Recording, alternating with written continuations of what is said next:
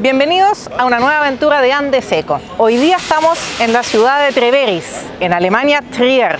Esta es considerada una de las ciudades más antiguas de Alemania y en esta visita vamos a descubrir por qué. Acompáñenme.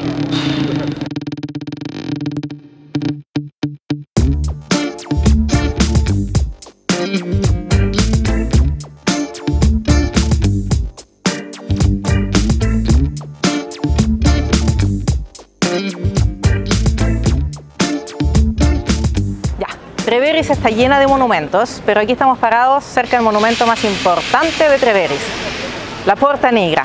Antiguamente esta ciudad era una ciudad romana llamada Augusta Treverum. En esa época la ciudad romana perfectamente cuadriculada como siempre tenía cuatro pórticos de acceso. El sobreviviente es el pórtico norte, llamado Porta Negra por su actual color negro, ya que antes de oscurecerse de esta manera se llamaba Porta Marti.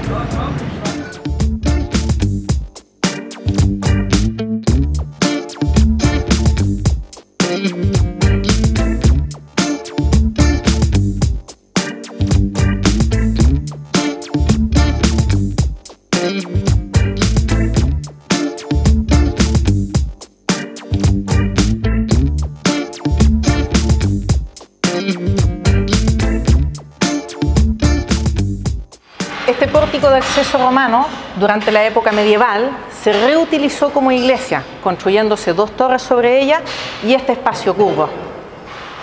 Todo lo que no pertenecía al pórtico original se demolió después para recuperar la estructura del pórtico. Sin embargo, este sector no se quiso demoler un poco por el miedo al derrumbe, ya que sostenía gran parte de esta fachada del, pórtico. Acá tenemos una maqueta de lo que fue esa iglesia que les acabo de comentar y vemos claramente la puerta negra hasta acá, existente hoy en día. Y todo esto se sacó. Lo único que no se sacó es esta estructura de acá, que es la que vimos recién. ¿Por qué? Porque podía derrumbarse en la, la pared de la puerta.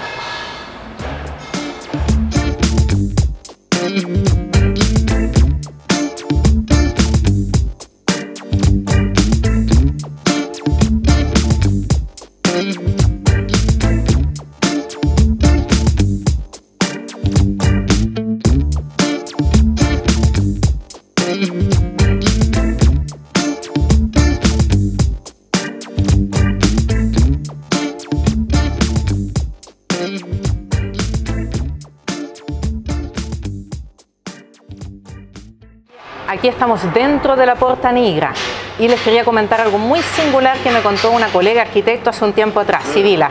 Mira, ¿ven esta marca en la roca? Esas marcas las hacían los canteros para identificar cuáles eran las piedras de su producción. ¿Por qué? Porque en la época romana, estas tremendas construcciones, los romanos contrataban a varios canteros para que todos ellos les entregaran piedras para construir. Y ellos las identificaban con su marca propia para poder contabilizar el pago después. La Porta Negra, construida el año 170 después de Cristo, no solamente es el monumento, la puerta de acceso romana más antigua de Alemania, sino que también es la mejor conservada de todo el Imperio Romano al norte de los Alpes.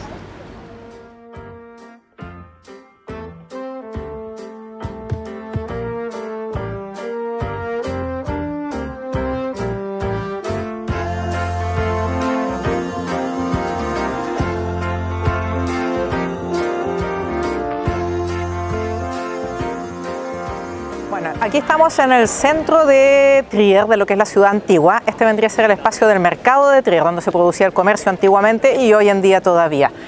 Este monumento que vemos acá se le llama la Cruz del Mercado. Eso siempre se ponía en los mercados para oficializar el comercio que se daba en el lugar.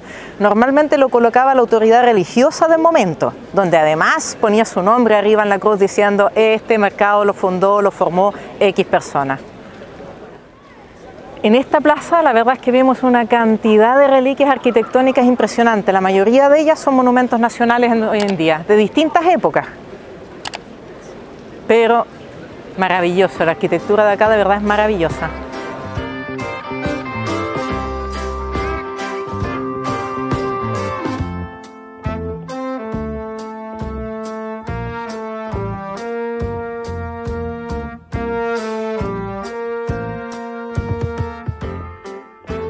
Dando una vueltecita por la plaza central, nos encontramos con esta casa de color rojizo, que la verdad es que este es el origen de la leyenda por la cual se le considera Treveris como la ciudad más antigua de Alemania. Es escrito en latín, si lo traducimos, quiere decir 1300 años antes de Roma existía Treveris en una eterna paz hasta hoy en día. Amén. Algo parecido según el traductor. Esto data de una antigua leyenda. Resulta que Treveta, que fue un hijo legítimo del rey Nainus, antiguo gobernante de, Asiria, y bueno, cuando falleció el rey de Asiria, resulta que la madrastra de él, que quería obviamente ocupar el trono con su hijo, decidió desterrar a Treveta.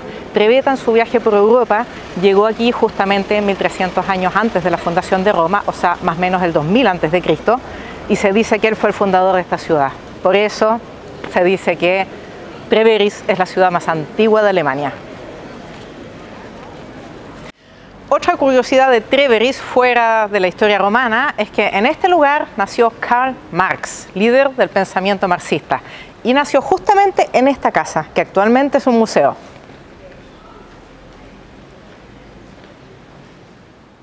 Estos cajoncitos se van encontrando de repente en algunas partes de la ciudad. Aquí cualquiera puede sacar distintas hierbas. Tenemos romero, menta. Esto romero. otro es dill. Acá tenemos dill. Qué simpático. Qué entretenido. A esto se le llama trier comestible. Ciudad comestible. Y aquí estamos parados en la esquina sur-oeste de la antigua Augusta Treverorum. Tenemos a mis espaldas un puente romano que data de la época del año 14 a.C. Este puente no solamente es el más antiguo de Alemania, sino que es el único puente romano en pie del lado norte de los Alpes. De los tremendos pilares de roca que estamos viendo acá, hay cinco, porque dos hubieron que rehacerlos, pero hay cinco que datan de la época del 17 a.C. O sea, estamos hablando de cinco pilares que sostienen un puente donde todavía pasan vehículos y que tienen 2040 años. ¡Wow! Aquí estamos al lado de la Catedral de San Pedro de Treveris. Esta catedral es la iglesia más antigua de Alemania, data del siglo IV. A pesar de que ha tenido varias remodelaciones y reconstrucciones, por lo que es difícil decir qué parte realmente es del siglo IV, su construcción completa se considera como la iglesia más antigua de toda Alemania. Dentro de esta iglesia podemos encontrar nada más ni nada menos que la Santa Túnica. ¿Saben lo que es la Santa Túnica? Es la vestimenta que usó Jesús antes de ser crucificado. Vale decir la vestimenta más interna, la que estaba más pegada a la piel. Sobre esta vestimenta tenía otras prendas de ropa, pero esa santa túnica está aquí, en esta iglesia.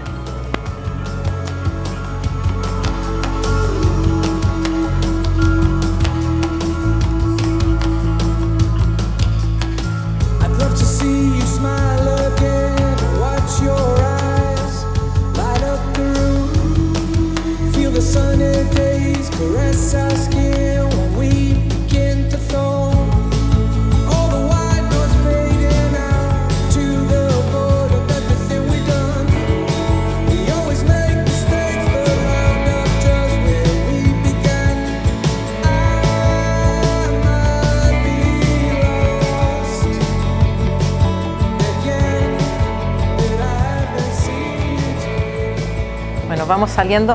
Mira, normalmente lo que es el tamaño que uno ve por fuera no se condice siempre con lo de adentro. Uno entra y lo encuentra como chiquitito. Pero esta catedral de verdad que me impresionó, es enorme, tanto por dentro como por fuera. De hecho, fue construida sobre un palacio constantino y la imagen exterior, más que una iglesia, sigue pareciendo un palacio. Aquí al lado, justamente al lado, tenemos la iglesia de Nuestra Sagrada Señora, que es otra maravilla de este sector. Apenas un unos dos, tres siglos después de la catedral se construyó la, iglesia de Nuestra Sagrada Señora.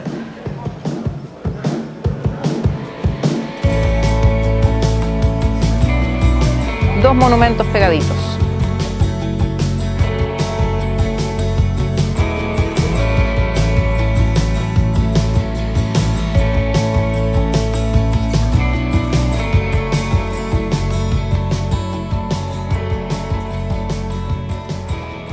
Detrás mío tenemos esta hermosa fachada neoclásica que pertenece al Palacio de Treveris. Detrás de este palacio tenemos la eh, Basílica de Constantino. Esta basílica no es muy bonita, la de ladrillo que vimos en el antes, y la verdad es que data casi de la misma antigüedad que la catedral. Pero lo bonito de este sector es este maravilloso parque. Nos vamos a ir caminando por acá a ver qué encontramos más allá.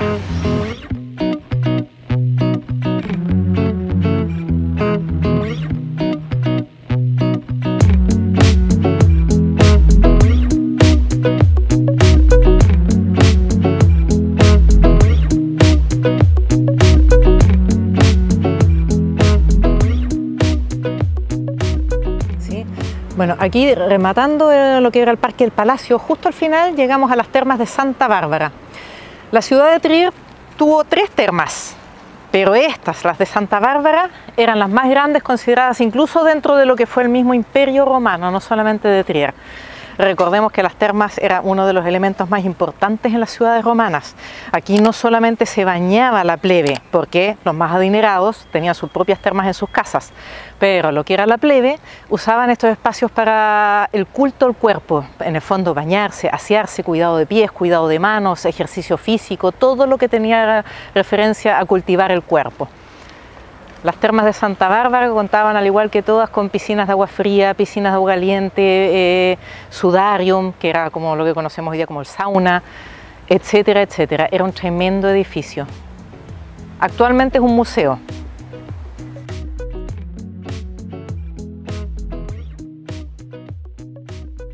Augusta Treverorum, no solo considerada una de las capitales del antiguo Imperio Romano, sino que además recibió el apodo de ser la segunda Roma.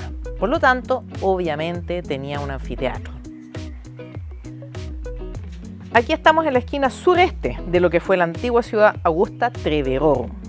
Todas esas pendientes de pasto que vemos alrededor de la arena eran gradas de piedra, que hoy las vemos tapadas con tierra y pasto. Bueno, y abajo se ven parte de, los, de las salidas, de los túneles por donde salían los actores y los gladiadores, podríamos hacer un recorrido para ver por dónde circulaban internamente. ¿Me acompañan? Por aquí.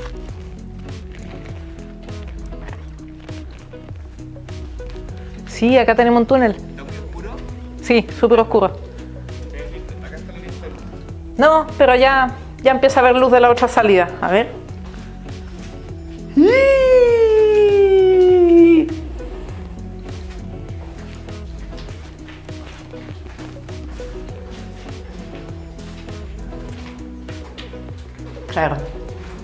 La típica estructura. Estos pasillos que recorrían prácticamente, yo creo que esto tampoco es que estuviera tapiado, estos pasillos recorrían prácticamente toda la arena eh, alrededor y estas pequeñas celdas probablemente eran para encerrar ya sea las fieras salvajes y para los gladiadores habían unos cuartos que eran un poquito más grandes para que ellos se preparen anímicamente, sus armas, etc. O sea, esto me huele más a una especie de celda de animales salvajes.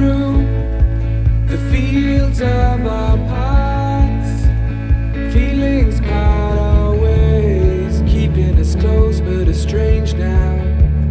Dreams holding us closer, meadows of our youth, a hundred and seven days. Wow, aquí estamos debajo de la arena. Our dreams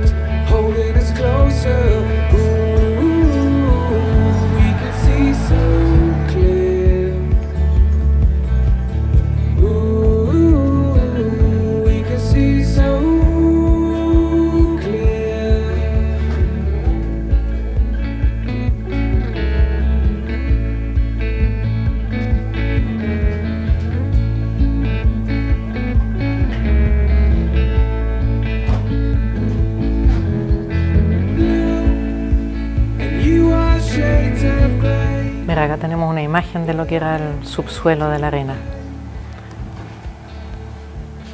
Toda la empalizada de madera con la cual se, se resistía el suelo de arriba ya no existe en realidad, esto fue reconstruido. Obviamente la madera no dura tanto como la piedra.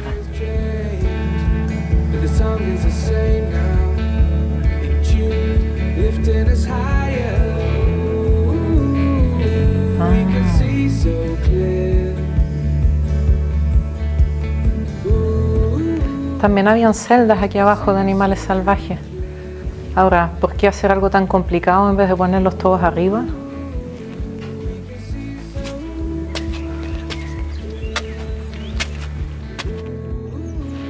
Bueno, ¿y qué pasaba en estas arenas? Tres espectáculos típicos, como ya lo habíamos mencionado en Santen. Las neumaquias, que se les llamaba a la representación de combates navales, grandes historias navales entre Egipto, entre romanos, prusianos, etc. Esas eran las verdaderas obras teatrales. Lo otro, la lucha de fieras salvajes entre hipopótamos, rinocerontes, osos, leones, etcétera, etcétera. Todos esos animales tenían sus celdas muchas veces en este subsuelo, sobre todo por los olores que se producían, los excrementos, etcétera. Entonces los desagües iban por ahí mismo. Y la tercera y más conocida por todos, obviamente, la lucha entre gladiadores.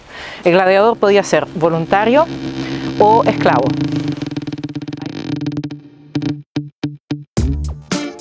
Y aquí en el valle del río Mosel, en esas laderas que se balconan hacia la ciudad de Treveris, vemos otro de sus grandes atractivos, las viñas. Grandes productoras de un vino local y también exportación hacia vinos de afuera.